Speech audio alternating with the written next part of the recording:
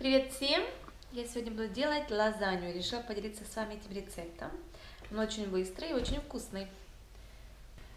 Вот я взяла одну большую луковицу и одну поменьше. Все это дело обжариваю на растительном масле.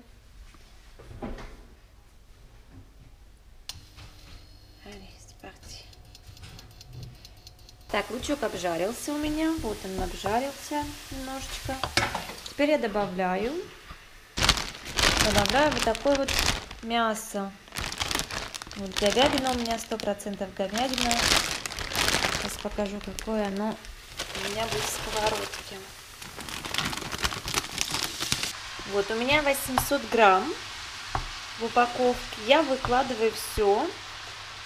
Из-за того, что даже если будет много, я потом сделаю с остатками макароны, что-нибудь еще дополнительно. Так что я не жалею мясо, как говорится, лучше уж больше, чем меньше. Вот, это все дело я тут обжариваю с лучком, хорошо, на среднем огне. Так, надо немножечко поднять до шестерочки. Все, обжариваю мяско. Так, пока, пока мяско жарится у меня, я буду делать соус. У меня есть такой очень старый аппарат, он очень удобный. Раз заодно и покажу. Вот, берем соус, делаем соус бешамель. Берем масло. Масло. 90 грамм. Бросаем мой аппарат. У меня классный такой аппаратище. Вот он такой. Соусница называется. Ой.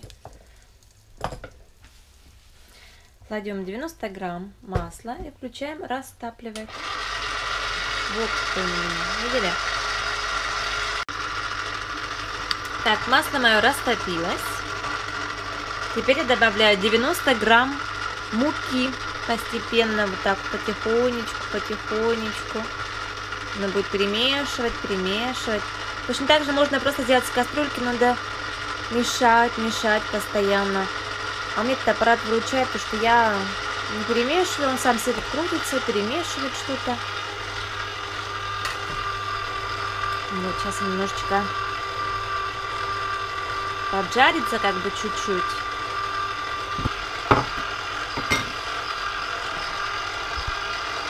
Вот так бы так загустила немножечко. И начинаем добавлять потихонечку молоко. Я беру 900 миллилитров молока и потихонечку заливаю молочко. И оно мне так делает консистенцию. Сначала как бы пожиже, Потом опять густеть начинает, жиже и густеть начинает. Я по чуть-чуть совсем добавляю.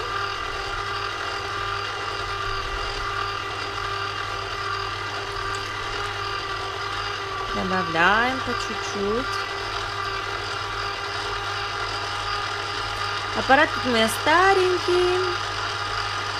Мне он от свекрови достался. Я когда не увидела. Я говорю, ты им не пользуешься, отдай мне. Она мне его дала, он был новенький, она им вообще не пользовалась. А вот у меня так я им постоянно пользуюсь. Он, конечно, уже потертый, малость. Так, я залила сколько? 500 миллилитров молока. Добавлю немножко соли. Где-то вот такой вот вот так немножечко маленько, это совсем малюсенькая кофейная ложечка, половиночку. Кто как любит, кто вообще солить, солить не любит. Добавляем мускатный, мускатный орех молотый. Да, пахнет лучше. Ну, прям хорошо так пахнуло такой вот. Чуть-чуть молочка добавляю, чтобы как бы размешать все эти мои специи. А там специи можете добавлять по желанию. И все. Немножко убавлю мою температурку. Было у меня на пятерочку, поставлю на четверочку. Эти марка сет. Может быть, найдете такое. Поищите. Называется Люсусьей соусница марка Сет. Я больше чем уверена, что новые композиции продаются. Ну да, надо мне тоже посмотреть, потому что я боюсь, что когда-нибудь она у меня перестанет работать, так как много пользуюсь им. Я каши манные варю в ней, все соусы мне делаю в этой соуснице. Так что надо стоять и примешивать. Я просто все засунула, и вот оно у меня крутится, крутится и крутится. Вот, оставляем, наверное, на 15. Нет, на, да, на минут 10. Через 10 минут она мне зазвенит, я приду проверить, все ли в порядке. Возвращаемся. Возвращаемся к нашему мясу. Вот, фаршик готовится, жарится. Так, надо соль добавить. Добавляем соль. Вот так вот где-то опять же по вкусу. Кто-то любит много соли, кто-то мало. Вот, добавили соль, специи. Моя любимая хмели сунели. Я покупаю в русском магазине здесь.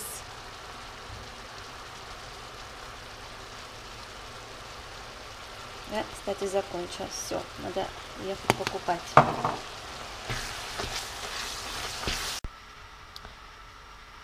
Вот, я готовлю соус. Томат наберу томатную пасту. Томатная паста у меня. Разводить буду водичкой. Вот выкладываем томатную пасту. Сколько здесь? 140 грамм в этой баночке. Насколько здесь у меня выходит на пикида литра. Ой, уже старенькая мать потертая. Это 1 четвертая литра, пол-литра. Где-то на пол-литра водички. Вот, разводим горячей водичкой. Сначала чуть-чуть, чтобы хорошо развести, а потом добавлю еще мою разведенную томатную пасту. И хорошенечко все вот так вот перемешиваем. Можно добавить кетчупа, очень тоже вкусно такой получится привкус. Так, добавляем немножко кетчупа. Он не тому, что так Арно так придумала добавлять, а у меня кетчупа уже нет. У меня что есть? У меня серфер есть, не знаю, как он по-русски называется. Такая вот травка у меня. Сейчас я туда и добавлю. Нравится, вкусно пахнет так хорошо. Вот. У меня базилик добавим. Во, я люблю травки. Что у меня еще есть? Провансальские, трав... Провансальские травки. Чуть-чуть. И все. Так, кропчика у меня нету. Нет, кроп есть, а петрушечки нет. Надо будет купить. Вот, все загустел. Можно смело добавлять оставшееся молоко.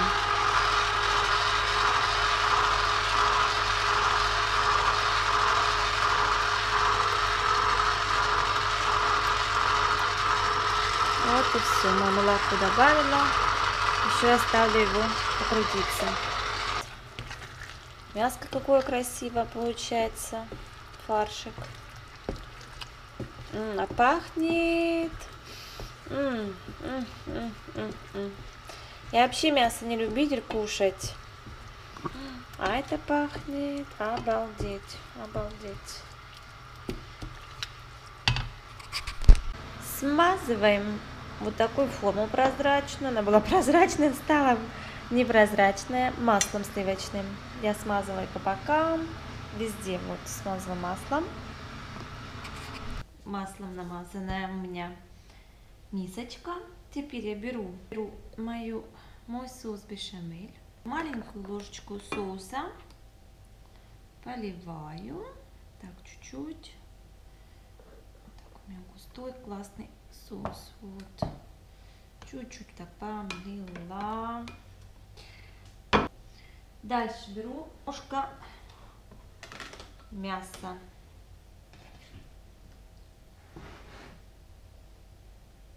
Так, раскидали чуть-чуть, размазали.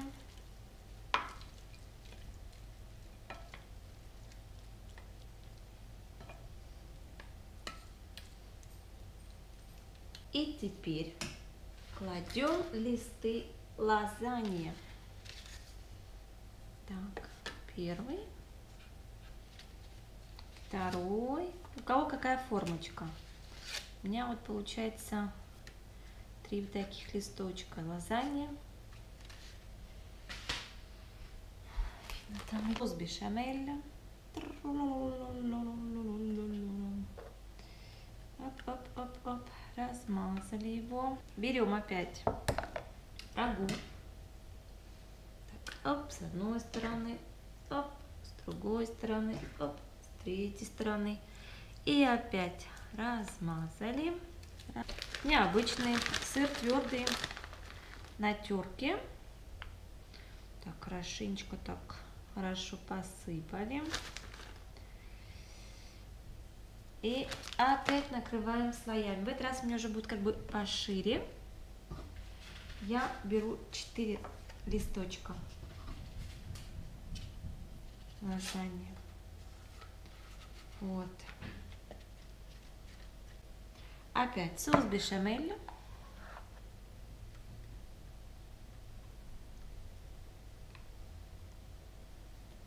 И опять рагу. Али. Раз вот здесь. Сытненькую такую лазанью сделаем. Еще чуть-чуть. Вот. Дальше опять сыр. Не жалеем. Тертый. Можно, конечно, лучше этот сыр пармезана. У меня его нет. Я забыла купить. Я... Кладем листы лазаньи. Раз. Хорошенечко так потрамбовываем. Два. Три. Четыре. У меня останется два лишних, по-моему.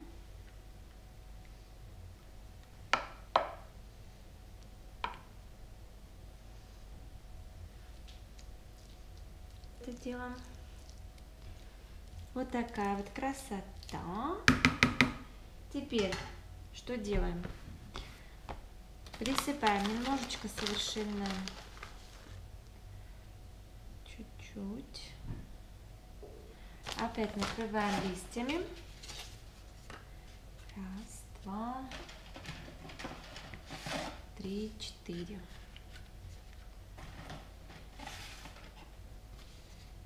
Вот.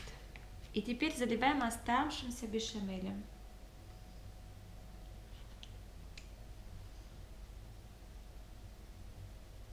Много, много, много сыра. У меня третья упаковка осталась, я прям им посыплю. А, хотя мне этого достаточно будет. Вот. Все это дело теперь в духовку на 220 градусов и на 20 минут.